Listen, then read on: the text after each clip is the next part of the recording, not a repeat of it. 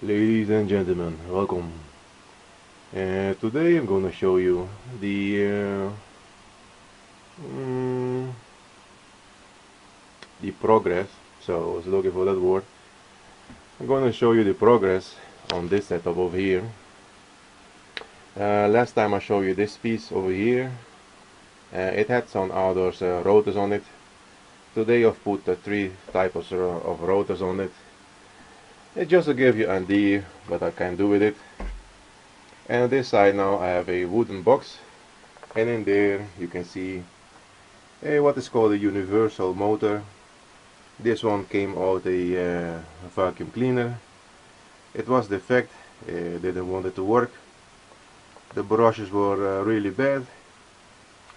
So I fixed those and it works now perfectly. It sits in its box have to put in the meters and switches and so on. Also do the wiring. Still have to uh, think whether I'm gonna run it on AC or DC don't know. We'll see. Here's a shaft coupling. And um, here uh, yeah for those of you that have seen my videos you will uh, notice remember this rotor. I have two of these.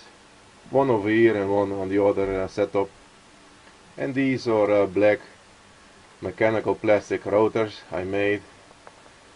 When I had the time and the access for a lathe I decided to make a lot of rotors so you never know.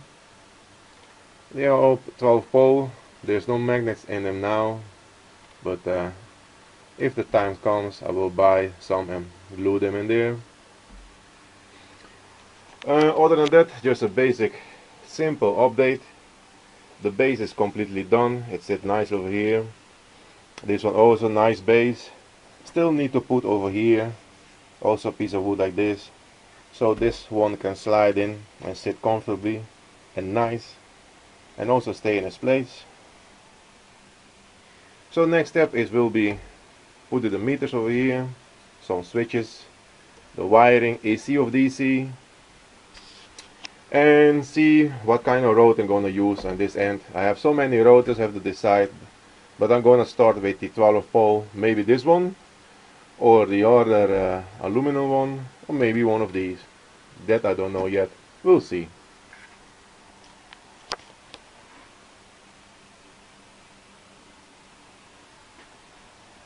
Yeah you get the idea. Um, hope you enjoyed it and yes, I sound tired in these two last videos. And guess what?